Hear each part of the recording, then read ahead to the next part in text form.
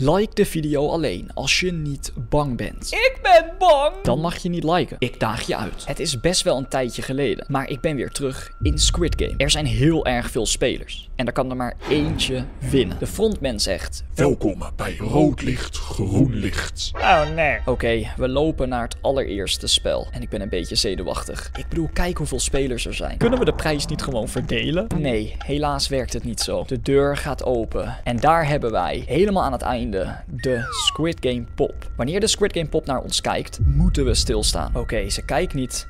Dus we mogen lopen. En ik stop alvast. Oh nee. Of nou ja, ik zeg wel oh nee, maar misschien valt dat wel mee. Ik bedoel, zie het zo, we hebben drie minuten, dus je kunt beter iets te laat zijn dan het helemaal niet halen. Zoals die spelers daar. Oké, ze draait zich weer om en ik denk dat ik het nu wel in één keer kan halen. Maar dat is vaak waar je de fout in gaat. Dus toch net voor het einde stop ik nog even. Ik bedoel nogmaals, we hebben nog twee minuten de tijd. Het is helemaal niet nodig om nu zoveel risico te nemen. Oké, daar gaan we. Snel, snel. Yes, we hebben het gehaald. En oh my gosh, deze Squid Game pop ziet er anders uit dan normaal. En die spelers stonden niet op tijd stil. Oh, hier hebben we letterlijk de frontman. Wie zit er onder dat masker? Oké, we zijn weer terug in de zaal. En hier kun je zien welke spelers af zijn en wie nog doorgaat. Daar zie je mij, in de hoek. Ik ben speler 352. En er zit al best wel wat geld in de spaarpot. Oké, de deuren gaan alweer open. Er is geen tijd om uit te rusten. En volgens mij weet ik alweer wat de tweede game gaat zijn. Oké, we mogen kiezen. 1, 2, 3 of 4. Ik ga voor de tweede. Dit is namelijk de Honeycomb Challenge. Waarbij je moet proberen een figuurtje uit een koekje te krijgen. De moeilijkste is de paraplu. De makkelijkste is het vierkantje. Oké, de allereerste, dat is de paraplu. Oké, gelukkig. Vierkantje. Alsjeblieft, vierkantje. Oké, dat, dat, dat is goed. Dat is namelijk alleen maar rechte lijnen. Kijk, dit is al een stuk lastiger. En dan is dit waarschijnlijk de cirkel. Oh, een pijl. Wacht, dat zijn nieuwe figuurtjes. Ik sta letterlijk tegenover een Squid Game Guard. Daar gaan we. Heel voorzichtig. We hebben hier een minuut tijd voor. Dus gewoon proberen om geen foutjes te maken. Oké, dit is echt super, super lastig. Ik weet ook niet of ik mijn vinger van de knop mag afhalen. Dus dat risico wil ik eigenlijk niet nemen. Nu ga ik eigenlijk al te snel. Oh, ik wil niet weten hoe moeilijk degenen het hebben. Die de paraplu hebben gekregen. Dat is echt een drama. Oké, nu zou het niet heel moeilijk moeten zijn. Dit is gewoon het allerlaatste gedeelte. Dit doet mij denken aan Dr. Bibber. Kennen jullie dat?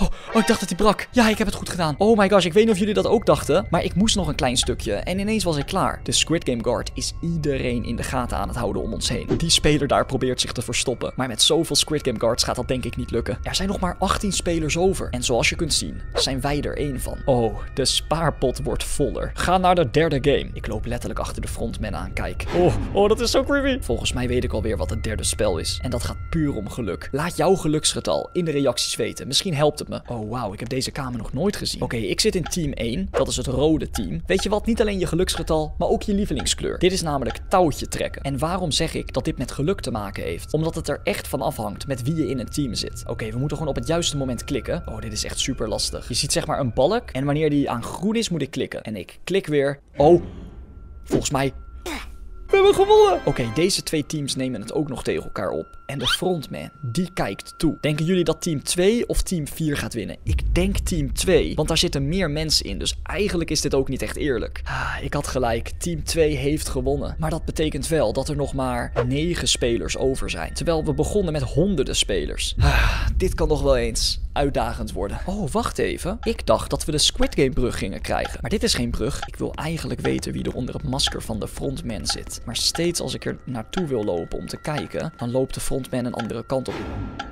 Oh, Zagen jullie dat? Ik, ik, ik zag de ogen, denk ik. Oké, we nemen het op tegen Baconhair daar. Wij moeten proberen zoveel mogelijk knikkers uit het vierkant te krijgen. Oké, daar gaan we. Oeh, oké, ik blijf mijn best doen. Daar gaan we. Dit is best wel lastig, maar hupsakee. Volgens mij heb ik er nog één. Oh nee, oké, daar gaan we. Oh, nice. Ik weet niet of ik dit ga winnen. Oké, kom op. Deze hebben we er ook uit. Hebben we gewonnen? We hebben gewonnen! Maar wacht, hoeveel zijn er dan in totaal nog over? Er zijn nog vier spelers over. Oh my gosh. Linksboven. Die moet winnen. Kijk dan, de spaarpot zit zo vol. Ik heb al zo lang geen Squid Game gespeeld in Roblox. Als ik in de top 3 eindig, ben ik al blij. Maar nu wil ik nog een keer mijn kans pakken om te kijken wie de frontman is. Ah nee, blijf nou even stilstaan. Ah, kom op. Oh, oh, oh, oh, kijk. We kunnen haar ogen zien. Wat? De frontman is helemaal niet eng. Oké, ik weet niet of ik nu juist banger moet zijn of minder bang. Oh nee, hier was ik al bang voor. Dit is 101% geluk. Hoe goed je ook bent, het boeit niet. Of je kiest links of je kiest rechts en één daarvan, daardoor ga je af. Oh nee, iemand is al gevallen. Oké, wacht, dus het is sowieso deze. Dan is het deze. Oh, gaat die speler kiezen? Ik weet niet of hij dat durft. Wij zijn de laatste twee spelers. Oké, dus het is in ieder geval deze. Ik probeer gewoon achter hem aan te gaan. Ik weet niet of hij nog een keer durft te kiezen. Oké, wacht, volgens mij weet ik dat dit de juiste is.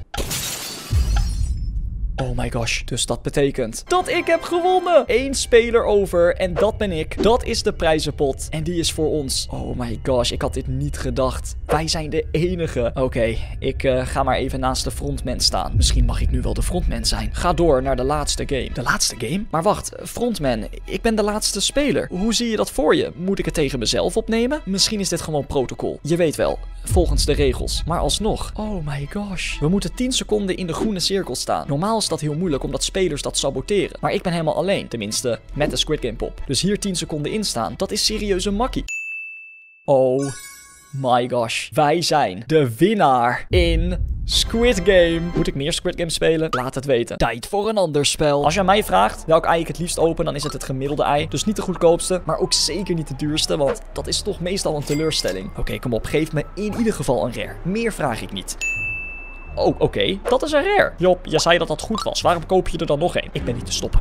Zoals ik zeg, ik wil zeker weten dat Scary Mary blij is. Voordat ze zo meteen nog gemener wordt in Break-in 3. Wat hebben we? Die hadden we al. Oké, oké. Ik beloof het aan iedereen. Dit is serieus de laatste. Dat heb ik altijd met Adopt Me. Ik kan gewoon niet stoppen met eieren openen. Oké, wat zit erin? Het is een duif. Bedenk een naam voor de duif. Iets in mij zegt dat er meer te vinden is onder Brookhaven. En om specifiek te zijn, het hoogste gedeelte. Oh, in Brookhaven. Er wordt namelijk gezegd dat Mr. Brookhaven, dat is de allereerste speler in Brookhaven, eigenlijk de oprichter, dat hij een geheim had. En dat geheim zou verstopt zijn in de Brookhaven Mountain. De, de berg dus. Dat is waar ik nu op rijd. Wat het precies is, dat is niet duidelijk. Maar wij gaan erachter komen. Alles wat er bekend is over Mr. Brookhaven is dat hij rijk was. Heel rijk. En volgens mij bevind ik me nu op de plek waar hij vroeger zijn huis had staan. Hier, bovenop de berg. Daar is natuurlijk niks meer van over, dat kun je zien. Maar wat ik heb meegenomen is mijn schep. Dus precies op dezelfde manier als net ga ik scheppen, scheppen en nog eens scheppen. Totdat ik het idee heb dat ik iets op het spoor ben. Dat kan zijn omdat het ineens anders aanvoelt. Maar het kan ook zijn omdat ik iets hoor, zoals net. Het belangrijkste is dat ik niet opgeef. En dat ik blijf doorgaan.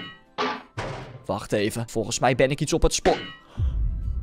Waar ben ik? Volgens mij heb ik de geheime kelder gevonden van... Mr. Brookhaven. En wacht eens even, ik heb een gravity coil bij me. Oké, dat komt best wel goed uit, want deze kelder is mega goed beveiligd. Kijk uit voor de lava. Over de spikes heen. Oh my gosh. Dit hier is de kroon van Mr. Brookhaven. Alleen, hoe heeft hij die zelf weten te pakken? Dit ziet er overduidelijk uit als een val. Waarschijnlijk als ik de kroon aanraak, klappen deze twee spikemuren tegen elkaar. En dan ben ik een broodje. Lekker! Nee Bob, maar er moet toch een manier zijn waarop hij het zelf heeft weten te pakken. Ah, dit is een ultra speed coil. En je merkt het, ik ben heel snel. Dus op deze manier... Wow, is het mij gelukt om de kroon op te zetten. Dat ziet er zo cool uit. Abonneer voor meer en adios.